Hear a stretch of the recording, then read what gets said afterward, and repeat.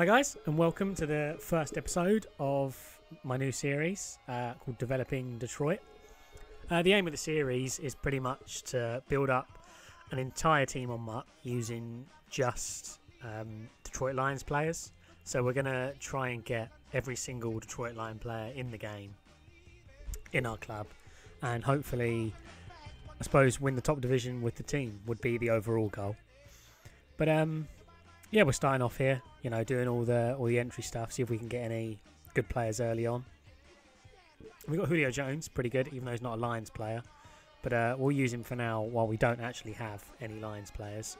But um, sorry if the quality is not that good. The capture card's been mucking up a little bit lately, but uh, towards the end of the video, it starts to pick up again. But yeah, as you can see, we can't actually trade these people. So uh, for now, we're going to use them. But as soon as, I mean, we're going to start with the bronze lion players, work our way into the silvers, then to the golds, then to the elites. So once we get a full starting lineup, I'll either quick sell those elite players or just drop them all together. But uh, yeah, in all the packs here, we didn't actually manage to get a single lion player, which is quite frustrating. Uh, but we have the, you know, the weekly Tom Brady. I mean, there'll be someone else coming out uh, in a few days, I think. So um, hopefully that'll be a Lions player, and we can add him to the squad. But uh, for now, this is the lineup we've got to start with. Uh, I think there's only one Lions player in there, or maybe none. But um, yeah, there's a checklist coming up of, you know, the exact players we're going to need. So, I mean, if you want to pause the video now to check, uh, these are all the players on MUT that uh, play for the Lions, or played for the Lions, or have a Lions card, I suppose I should say. So, um, as the episodes go on, we're going to try and get through the whole checklist, uh, starting with the bronze, working our way through to the silver, then to the gold, then to the elite. And yeah, I suppose I will try and win the top division with this team.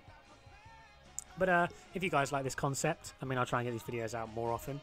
But um, drop a like on the video, comment that you're enjoying the concept, or um, subscribe. You know, subscribe if you're new, because I'm going to try and get. I, I, put videos out daily, and I'm going to try and get this video, um, this series even, out more more often as well. I mean, I'm going to probably make this my main series, and then put the Draft Champion series here and there where I can. But um, yeah, I'm gonna get a few solos or do a few solos just to get a few players into the club to start with. Um, so yeah, we'll get a bit of money from these here and there. Um, and yeah, I'll see you guys once we've got a little bit of money in the club. So I'm just going to roll through a few clips here of the coins that I actually got from the solos. I mean, we completed a challenge, um, one of the opening challenges, and got another solo just to get a, few coins in in the first episode. This is just sort of an introductory episode to the series. And um, yeah, I'm just going to pick up a few of the cheaper bronze cards early on. I mean, there's a few here going pretty cheap, so I'll start with them for now. Uh, so that's Johnson there. Unfortunately, not Calvin, but uh, we'll see if he, he, can live up to the name. Um, and yeah, I'm just going to go through, pick up, slowly pick up players. I think I'll try and get a few players in each episode because I mean to start with, players are going to be coming in pretty quick because bronze players are cheap and you can just do one game to afford one bronze player or maybe even two bronze players. But um, as the series sort of progresses and we get towards the elites and uh, even some of the high end golds, it's going to sort of take a bit longer to get players in, which uh, I, I think gives the, sort of gives the series longevity, which is is good. I mean, otherwise this series would be over pretty quick because there's not a ton of players. I think there's around 100, so uh, it could take a little while. But yeah, this is me doing a few more solos just to get the balance up to start with, so we actually have a somewhat decent team to play with in our first games in online. But uh, yeah, as you can see, I did I did the majority of the solos. Uh, I think I did about about half of um, the first category on NFL Journey One, uh, Journey Two, sorry.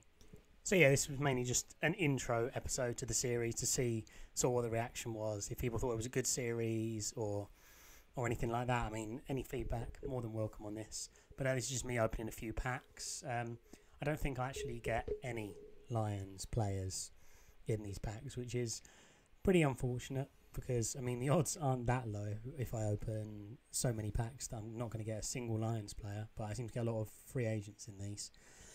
But um, yeah, let me know. I mean, we've got another good player there, but we can actually sell these ones, so we're gonna gonna sell them for now because I don't want to get too many sort of higher rated um, uh, players from other teams into the club. I mean, I just want sort of the bare minimum that I need to help me get the actual Lions team for now.